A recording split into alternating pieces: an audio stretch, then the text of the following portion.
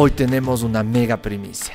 El primer estadio de fútbol femenino de América Latina está en Ecuador y es el Chof Arena de las Dragonas del Independiente del Valle.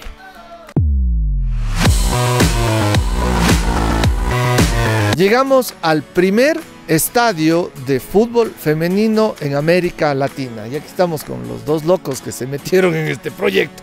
Eh, con Edwin Astudillo de Chop Seguros, con Franklin Tello de Independiente. Primera pregunta, Franklin. El fútbol femenino he visto que aún no es rentable, pero ya se mandó 2 millones de dólares en el estadio. ¿Cuál es su visión en torno a esto? Bueno, afortunadamente el club ha tenido la fortuna y la posibilidad de tener la solidez financiera suficiente como para eh, promover este tipo de proyectos. Ustedes saben, el Independiente es un, es un, club sin fines de lucro, reinvierte todo lo que genera. Y claro, producto del, superávit que se tiene, este tipo de proyectos con aliados tan importantes que nos ayudan a darle eh, contenido a las ideas que existen como es CHAF, eh, venía desde hace algún tiempo sobre la mesa. Ahora, le entiendo al, eh, al Franklin que está en el fútbol, pero usted vende seguros. ¿Cuál es su visión de decir, oiga, acoltemos de un estadio para mujeres? No necesariamente tiene que ver con fútbol. Nuestra visión es cómo nosotros como compañía ha decidido cómo impactar y cómo conectarse con la comunidad y sus necesidades. Cuando uno quiere realmente generar impacto en un mercado, no tiene que ir a las cosas que no disfruta, a las cosas que no hace, a las cosas que no sueña. Se puede hacer y mucho, y en este caso, el caso del fútbol, creo que nos abre diferentes puertas para poder generar eh, mensajes de igualdad, mensajes de equidad, mensajes de, de, desarrollo, y es ahí donde nosotros nos encontramos. Eh, tú recordarás, nosotros hemos manejado cuatro años, hemos liderado el ODS número 5 del Pacto Global de las Naciones Unidas, y todo este programa de, de, del desarrollo del fútbol femenino encaja dentro de esa plataforma. Excelente, ¿podemos ir a conocer? Claro. Vamos. Verá, no, no, sé datos oficiales y usted me dirá, pero este estadio le venden al Moisés Caicedo, al Chelsea, hacen el de allá. Datos oficiales, había visto 25 millones de dólares. ¿Este es con las ven la venta del Páez o de qué flujo de caja sale? O sea, bueno, a ver, el club eh, ha tenido la, la, la, posibilidad de, durante varios años de, de transferir varios jugadores al, al fútbol eh, mundial. Entonces, como te contaba hace un momento, afortunadamente esos, esos valores generan en su momento un superávit y ahí se evalúa qué tipos de proyectos emprender. Este era para nosotros una prioridad en su momento porque, como ustedes bien saben, hemos sido protagonistas del fútbol femenino desde el inicio. Y con... El Deportivo Cuenca estaba desde el inicio.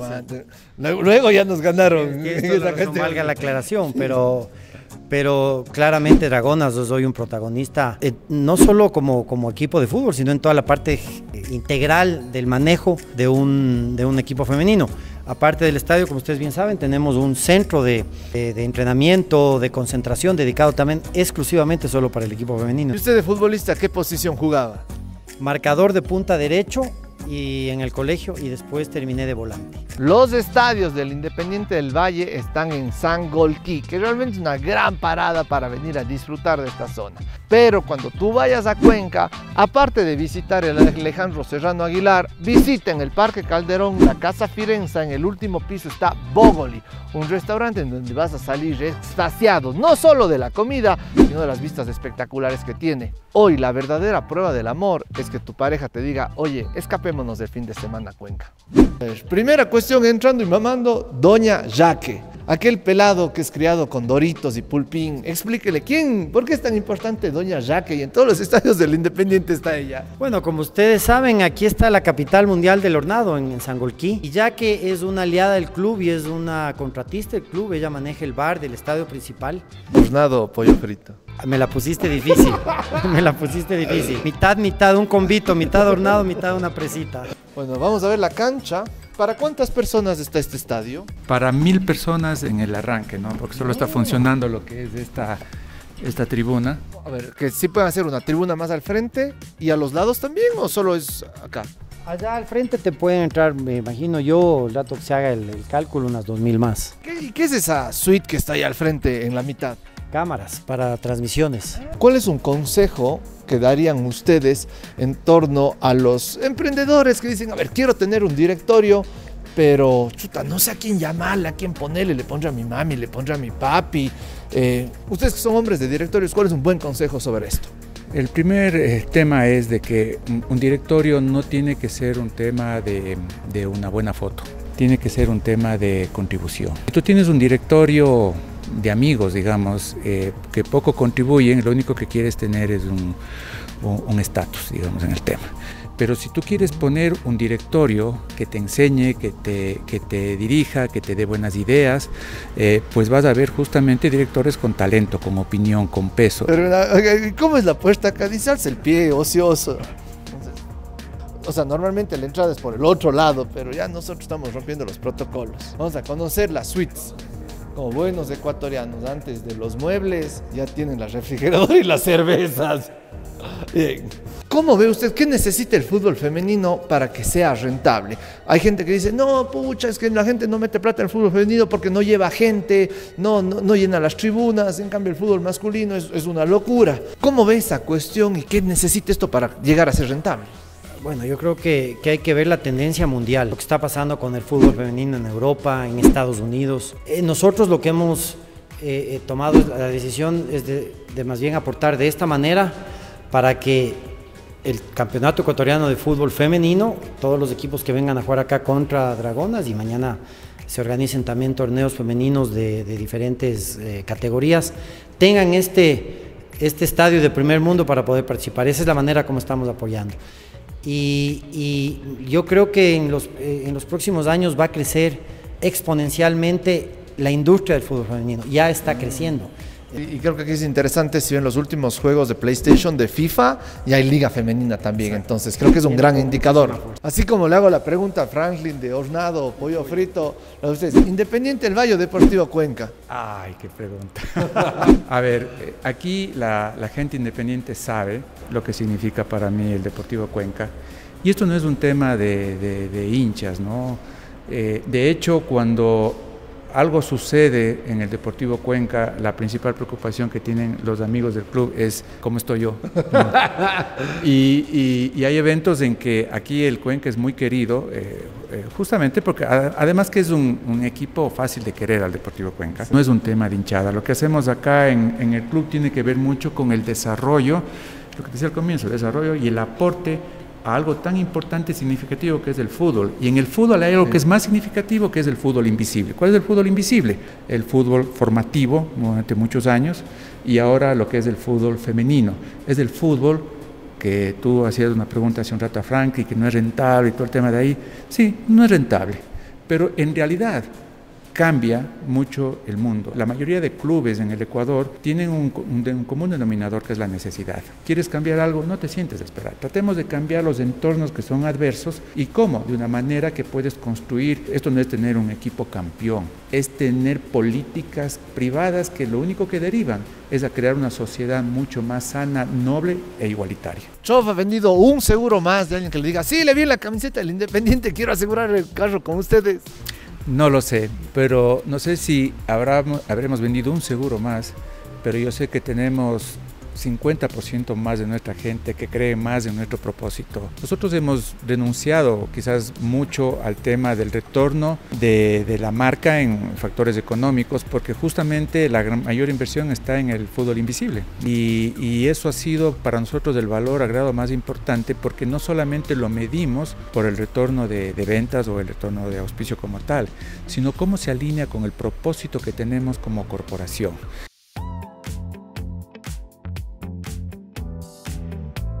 Bueno, a mí me ofrecieron que había chupe. ¿Qué vamos a festejar ahora? Bueno, digamos que es una celebración a, la, igualdad, digamos, ¿no? Estamos ahora siendo parte también de un proyecto que tiene que ver en prácticas contra el racismo. Estamos haciendo también por primera vez un museo contra el racismo, ¿no? Justamente para fomentar una escuela y un aprendizaje de cuáles deben ser los comportamientos de los chicos que sufren racismo, cómo confrontar, cómo enfrentar esas características para poder administrarlas y gestionarlas de mejor manera. A ver, y este es el mural, ¿pintó usted? bueno, fuera, esa habilidad no tengo, pero justamente este es un, mural que lanzamos hace un año que simboliza lo que es la campaña Latidos del Valle by Chop, que un proyecto en conjunto con el club, con Independiente, para eliminar todo tipo de, de racismo de lo que es del fútbol y esa es una campaña que nos ha llenado de gusto. Estamos cumpliendo ya un año y por lo tanto ya un año significa que ya no fue moda, que es en realidad que estamos creyendo en esto y hoy justamente se va a inaugurar lo que es el Museo al Racismo. Aquí se puede ver muchas comunidades que han venido a visitarnos, que están contentas de, ser parte de esto. Está ya el tentempié listo, hornado, para después del festejo. Estamos aquí con la mismísima doña Jaque, oiga, qué gusto conocerle. Qué lindo.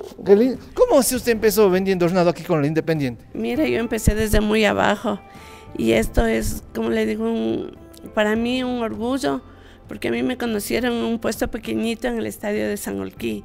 Entonces me conocieron los dirigentes, don Santiago al que le debo todo, don Michel que siempre me dice unas lindas palabras que me dice, yo le lloro cada que me da alguna cosa. No llores, dice, porque tú te ganaste, porque tú nos diste toda la confianza y nos hiciste quedar bien ante muchos países. Yo, soy Nicolás de Cuenca. Espero que ahí pongan una sucursal en el Alejandro Serrano Aguilar también. ¿Se puede venir a futuro un Leonas Training Center en Cuenca, en Patamarca? Eh, fue un sueño que mm, no sé si algunos recordarán, pero cuando había Patamarca, hace 13 años exactamente, empezamos eh, la construcción de lo que iba a ser la sede para las formativas. Y ahí justamente pusimos un letrero que decía algo similar a como los primeros pasos para ser grande lo das aquí. Penosamente eh, terminamos de hacer la primera fase de la construcción, que era dotar de infraestructura. Ya sabemos que se vendió al año de que terminamos, se vendió el tema de ahí. Ahora, esto es un modelo replicable, ¿no? Esto es un modelo en el cual, de alguna manera, eh, y, y lo hablo como filosofía del propio club acá, el club no tiene el celo de que nadie más lo haga, al contrario, es abrir las puertas para que vean cómo tener, porque esto lo único que mejora es todo el fútbol ecuatoriano. ¿Cuál es un club que ve que dicen estos manes están haciendo bien las cosas? Hay muchos en, en, Europa, obviamente primer mundo, en Estados Unidos primer mundo, hay una liga que está debajo de la MLS que, que se está potenciando también. ¿Y alguno en Ecuador que diga, pucha, aquí creo que este está haciendo bien las cosas? creo que levantamos un poquito la vara de cómo se debe trabajar en la parte de fútbol formativo.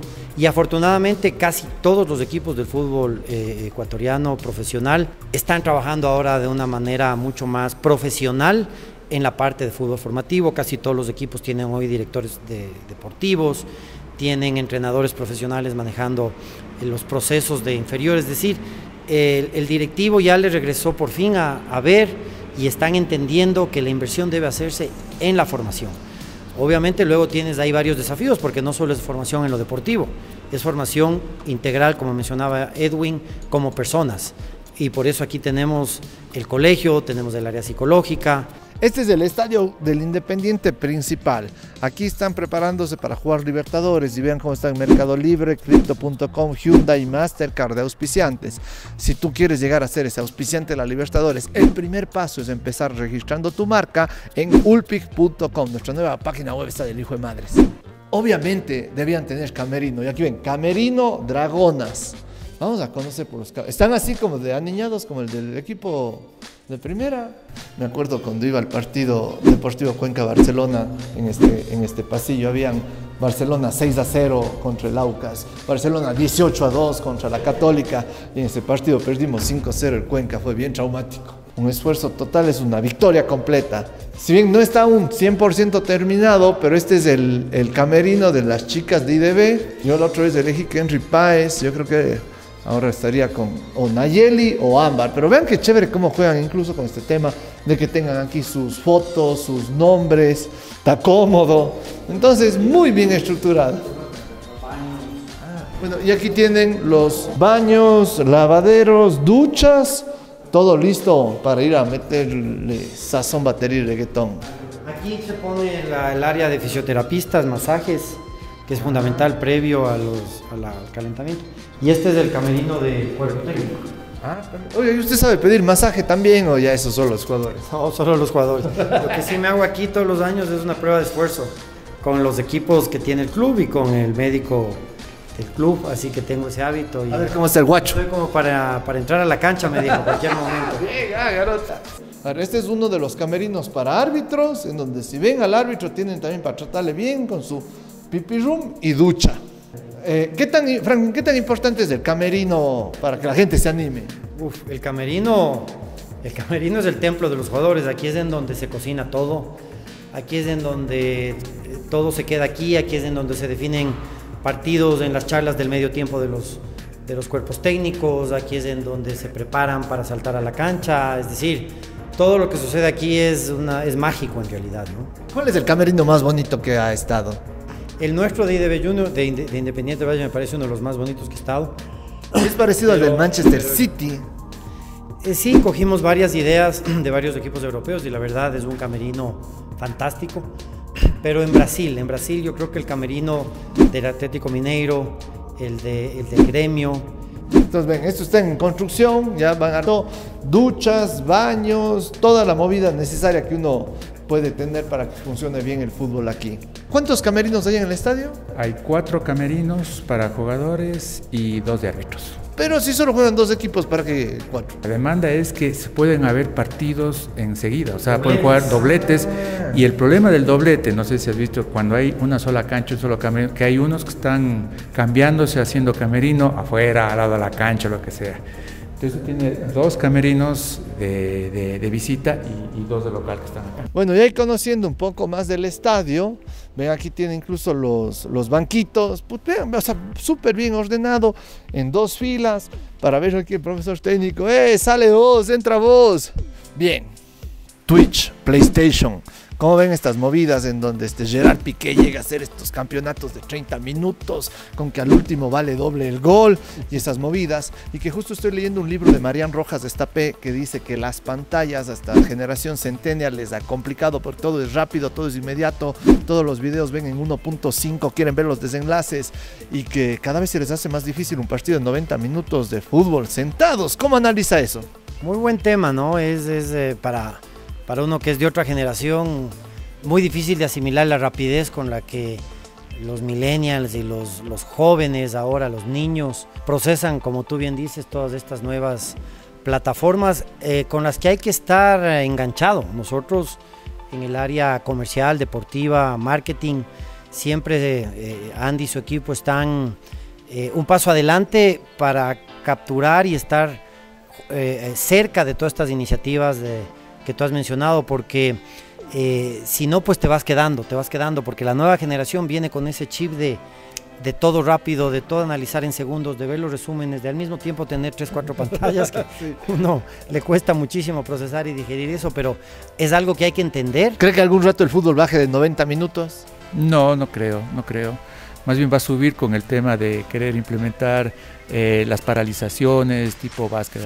Eh, en fin, o sea, yo no creo que baje, yo no creo que baje. Y lo que yo sí pienso es de que, al menos es mi aspiración, el fútbol va a seguir siendo históricamente un deporte antiguo, ancestral. Auspicios.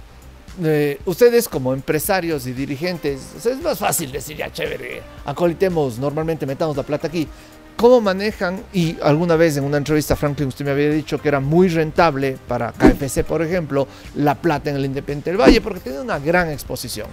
¿Cómo apuntan eso a las dragonas? ¿Se apuntan a las mismas empresas? ¿Se ofrece otros paquetes? ¿Vienen en combo dos por uno? ¿Cómo es este tema en publicidad? Hemos logrado tener eh, un, un portafolio importante de aliados comerciales, o sea, auspiciantes pero hoy tenemos un portafolio de por lo menos unos 30 auspiciantes que dependiendo de los paquetes y sus presupuestos van entrando eh, con su marca sea en el equipo de primera división, en el Independiente Juniors, en las Dragonas, en las formativas. Entonces hay todas unas, unas opciones para que el, el, el, auspiciante que quiere entrar pueda ser un aliado para nosotros. Escuché el chisme que ya se han comprado otros equipos de fútbol ustedes. ¿Con qué? ¿Quién, qué, qué nomás está dentro de su holding deportivo? O sea, el, club tiene ahora una red, una red de, obviamente todo empezó con el Independiente Juniors, que también juega en primera división. Tenemos eh, un equipo en España, en la segunda red, que es el Numancia y eh, también el club eh, adquirió los, los derechos de el Atlético Huila del fútbol profesional colombiano, que en este momento está jugando en la, en la, en la segunda división del fútbol profesional colombiano.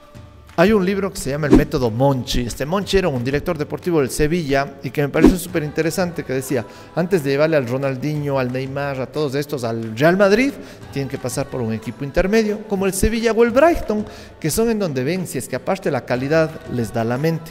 El Numancia sería su Sevilla más o menos para evitar, para que les quede más plata a la larga de la transacción. Más que nada, sí, podría ser, ojalá especialmente si asciende a la siguiente categoría, a la primera red, un equipo en el cual eh, jugadores del proceso acá, que ya estén en calidad de, de poder participar en esa liga que es muy competitiva, puedan ir y reforzar. Esa es justamente una de las ideas. Aquí está la escuela del IDB, el nuevo estadio techado. Si es que quieren ver más a profundidad del complejo, vayan a ver nuestro episodio del Independiente del Valle. Y aquí es en donde llegamos al Chof Training Center, en donde las dragonas tienen su propio gimnasio y sitio de entrenamiento, que pueden ver aquí adentro, que lo suelen compartir con Independiente Junior también. Y este es el museo que está hecho por Independiente Chof y Danek del racismo, en donde tenemos algunas piezas muy interesantes. Para usted, Edwin, ¿cuál es su, su obra de este museo más, más relevante? Ah, más que obra es el concepto, ¿no? El concepto de tener espacios en donde se puede reflexionar y hacer memoria sobre las cosas que nos han llevado a hacer de alguna manera todos algo de racismo. Si ven, aquí tienen cómo construimos un mundo antirracista, tienen un tema lúdico para los niños. Aquí tenemos Isabelino Grandín, Dilma Méndez, Alberto Spencer, Cabeza Mágica, Amalia Flores. ¿Quién hizo el concepto del museo? Eh, tenemos una persona que es Ana María Morales, que eh, es una especialista en, en, en diferentes temas alrededor de lo que es racismo. Hoy tengo gran agradecimiento de haber aprendido estos dos cracks de Franklin y Edwin, alguna cosa más de negocios y del negocio en fútbol. Pero lo que siempre me queda a estos manes es que hay que sembrar para cosechar. Nada viene así rapidísimo, el asunto es de ser constantes y disciplinados. Y adicionalmente el asunto de la sostenibilidad, que no debemos medir el retorno solo en cuánta plata nos da, sino en qué bien le hacemos al mundo. Y eso hace que proyectos como el IDB, Dragonas y todas estas cuestiones que vamos mostrando nosotros en marcas que impactan, generan que si es que nacimos en un Ecuador pobre y corrupto no es nuestra culpa, pero si es que nos morimos en un Ecuador pobre y corrupto, eso sí va a ser nuestra culpa. Y aquí te dejo otra gran marca del hijo de flautas para que sigas diciendo, oye, qué orgullo haber nacido en este país.